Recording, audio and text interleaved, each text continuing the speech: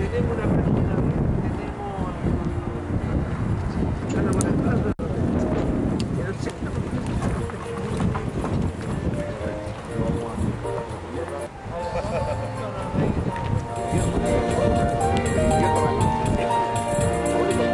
Señor alcalde de la comuna de San Carlos, don Hugo Naín Yebrías Fuller. Señor representante del comandante del Regimiento de Infantería número 9 Chillán, mayor de ejército, señor Jorge Ormeño Franco. Señor representante del comisario de Carabineros de San Carlos, capitán Manuel Rojo Latud. Señor representante de la Policía de Investigaciones de San Carlos, comisario don Hugo Mancilla. Representantes de la ciudad de Linares, el señor Fernando Valle Leal, recreador histórico, que está en este momento con su vestimenta de soldado de infantería del ejército realista en tenida de campaña. En su vestimenta está el mosquete de la época, morral, cartuchera y otros. Como así también tenemos la presencia, venido desde Curicó, del investigador histórico señor Marco Benamente Ormeño y su señora doña María de los Ángeles Toro. Estimados vecinos, señoras y señores, queridos alumnos, la historia es el estudio de los hechos del pasado para entender el presente y vislumbrar el futuro.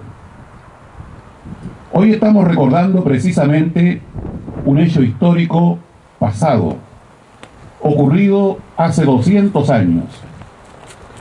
Si los alumnos de hoy quieren conocer la llamada Batalla de San Carlos, es necesario que lean y escuchen de sus mayores los hechos significativos de esta gesta histórica.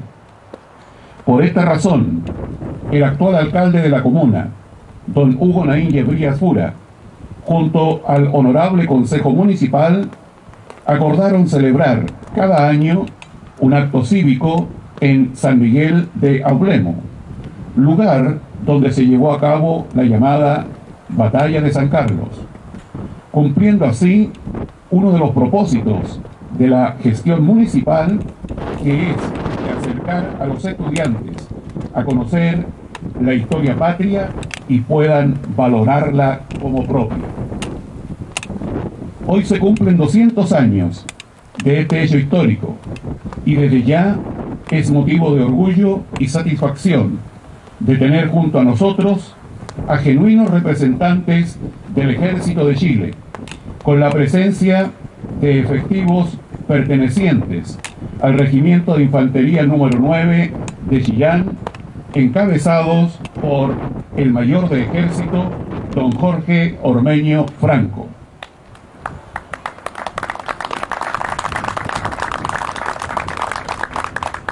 Frente a nosotros también está la unidad de formación dirigida por el subteniente señor Iván Saavedra Fernández.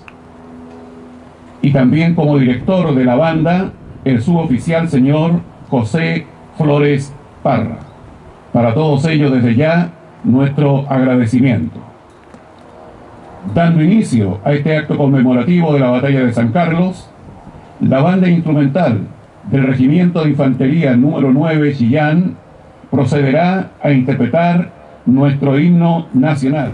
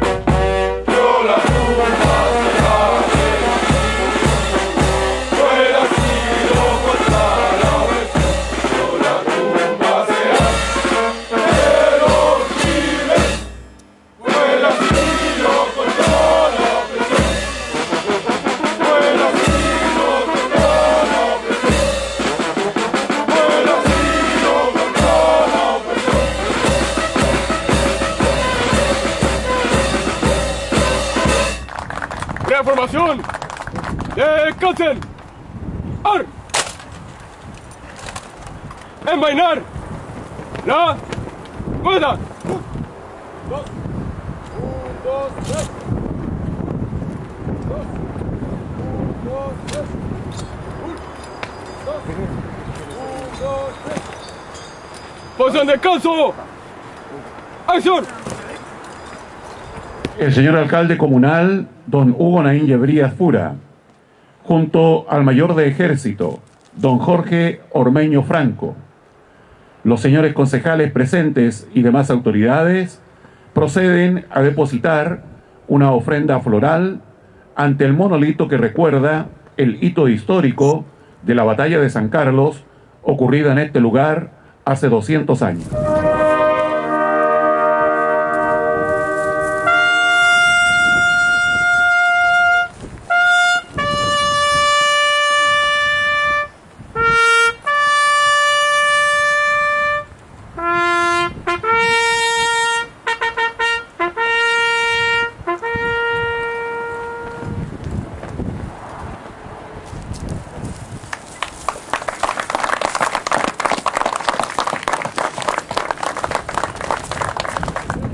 Autoridades militares civiles. La batalla de San Carlos forma parte de los acontecimientos ligados a la Guerra de la Independencia de Chile. Este hecho de armas sucedió el 15 de mayo de 1813 en el sector de San Miguel de Ablemo, aquí en la comuna de San Carlos, lugar donde hoy nos encontramos. Los, contendientes eran por un lado las fuerzas realistas o españolas al mando de Juan Francisco Sánchez, a quien le había dado el mando Antonio Vareja por encontrarse este enfermo, a pesar de lo cual estuvo presente en el combate participando de la estrategia. Y por el otro bando, el ejército patriota al mando del general en jefe José Miguel Carrera. Antonio Vareja iniciaba su retirada a Chillán la mañana del día 15 en muy difíciles condiciones, luego de ocupar la villa de San Carlos, y el general Carrera, conocedor de tan propicios factores, decidió atacarlo en San Carlos, ordenando a su vanguardia, comandada por el brigadier Luis Carrera, que le diera alcance e impidiera su fuga. La situación de los realistas era difícil, pero también eran complejas las condiciones para los patriotas.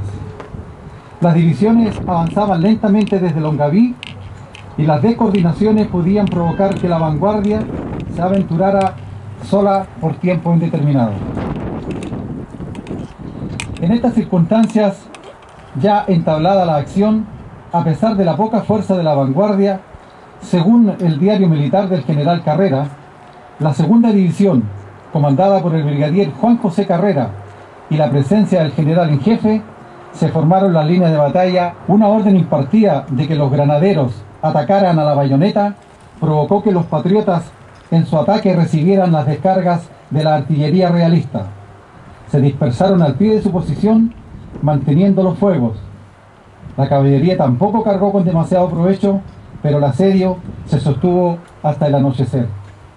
Por último, la tercera división de Juan Maquena, que muy tarde llegaba de refresco, tampoco pudo vencer la resistencia de la artillería realista y al caer la noche el ejército patriota se trasladaba a la villa de San Carlos para reorganizarse y contraatacar al amanecer del día siguiente, dejando sobre la posición realista una vigilancia que sería burlada. Así entonces, Antonio Pareja y el ejército español emprendieron esa noche su precipitada retirada hacia Chillán, perdiendo varios pertrechos, prisioneros y sufriendo ambos bandos serias bajas. La persecución por parte de los patriotas se retomaría por la mañana al descubrir Carrera la huida del enemigo. El resultado del combate fue una victoria parcial para Chile, ya que los realistas tuvieron que huir hasta Chillán. Estimados amigos y amigas, a veces es lamentable ver cómo, al pasar de los años, se ha ido perdiendo el interés por la patria, por nuestra historia, por nuestros emblemas y por quienes dieron su vida por hacer de Chile una gran nación. Pareciera que también en los colegios se enseñara mucho más historia universal y poca historia chilena. La experiencia nos dice que los jóvenes a veces solo conocen nuestros héroes a través de los nombres de las calles, sin saber cuáles fueron sus sueños, sus ideales y motivaciones. Hoy sus anhelos y sacrificios yacen olvidados bajo libros empolvados en la soledad de una biblioteca y con ellos también olvidados sus motivos y sentido del deber.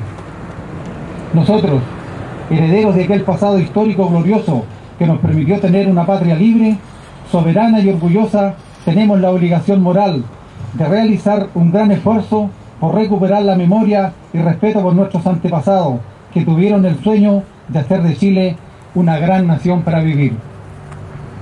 Al recuperar los ideales de nuestros ancestros, creemos que también podremos recuperar nuestros deberes como chilenos y ciudadanos.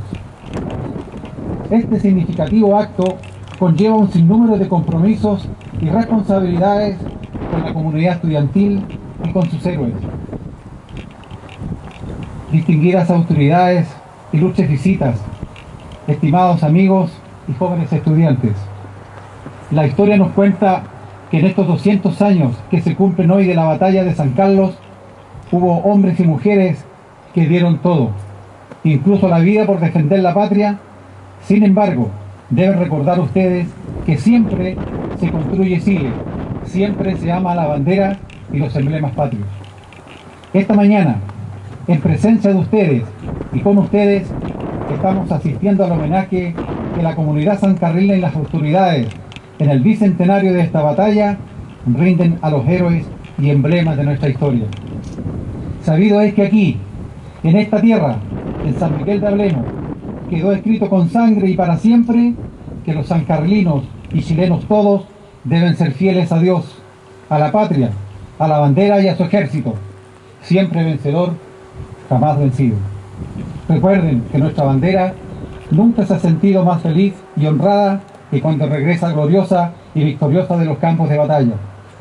Como chileno y presidente de los carruajes bicentenarios, les pido que acojan y aniden este hermoso y exigente legado de amor a la patria, respeto a nuestros héroes y a los símbolos nacionales. Jóvenes estudiantes, hoy también es posible ser héroes.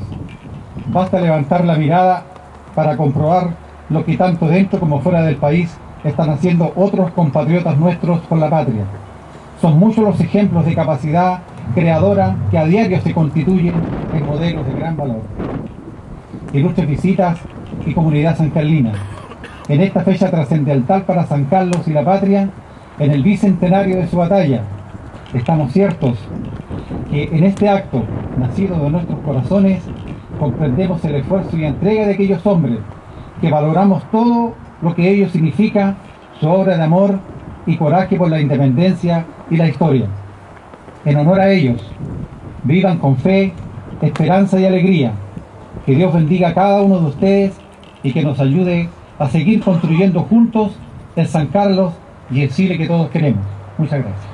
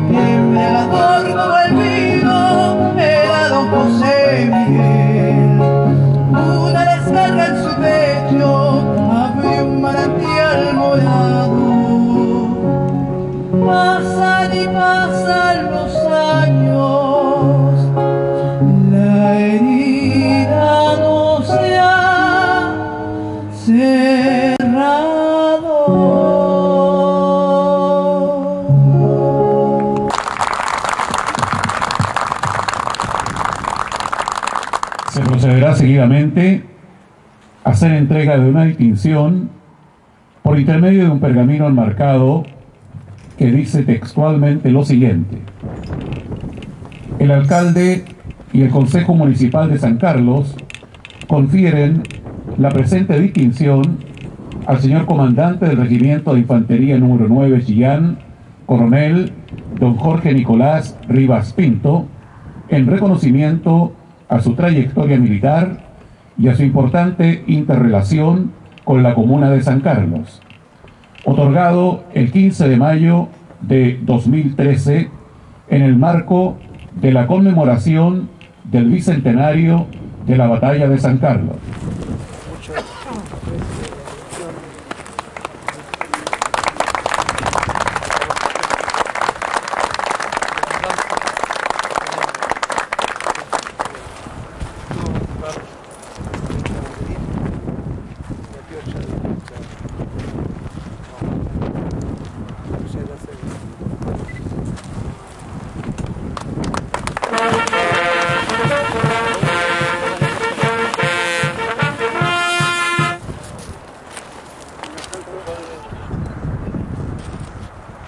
La Junta de Vecinos San Miguel de Ablemo, vale decir la institución vecinal de este sector, mantiene vigente un comodato de uso de parte de la infraestructura de esta propiedad municipal. Esta entidad comunitaria ha solicitado al señor alcalde Hugo Llebrías Pura la ampliación del plazo de vigencia de este comodato a 30 años hecho que fue acogido por la primera autoridad comunal y aprobado por el Consejo Municipal. A continuación, el señor alcalde, don Hugo Naín Yebrías Fura, y señores concejales presentes, procederán a entregar al presidente de la Junta de Vecinos San Miguel de Ablemo, don Juan Vivanco Constanzo, el decreto municipal mediante el cual se establece la modificación de la vigencia del comodato señalado a 30 años plazo.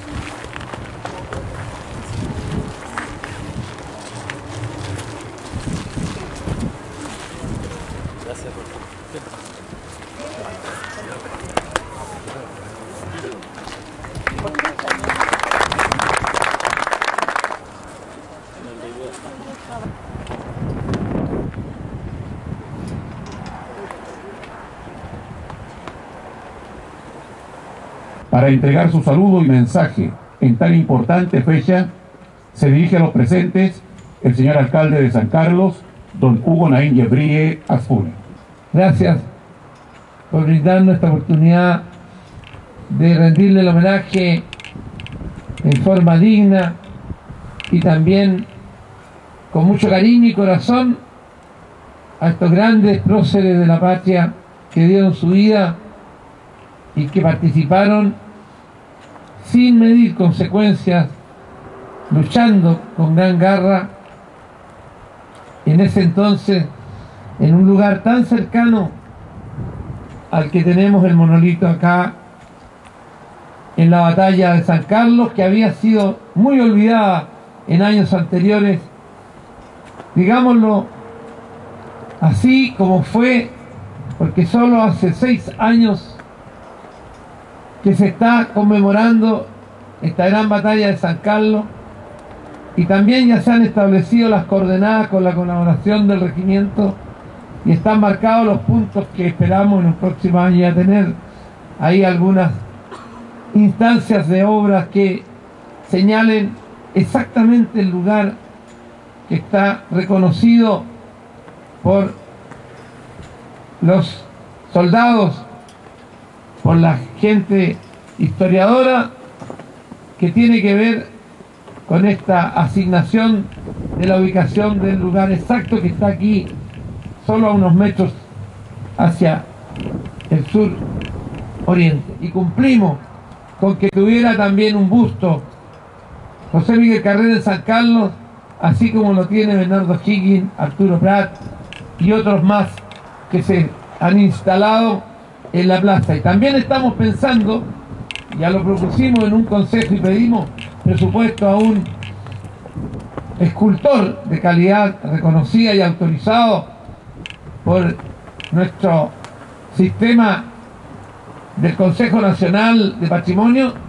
para ver la posibilidad de colocarlo también junto a Higgins en la Plaza de Armas, como se lo merece también, por supuesto, don José Miguel Carrera, dentro de la historia y del reconocimiento que se ha hecho de estos patriotas. Para seguir celebrando y reconociendo y recordando a nuestros alumnos, a nuestros pequeños niños del prekinder y del kinder y aquellos que ya son mayores, que no se les olvide nunca que estos gestos patrióticos y que estas personas y que estos líderes que nos han antecedido nos dejaron esta patria y nos dieron este ejemplo. Dios los bendiga, que sigan descansando en paz, que haya muchos más como ustedes y muchas gracias.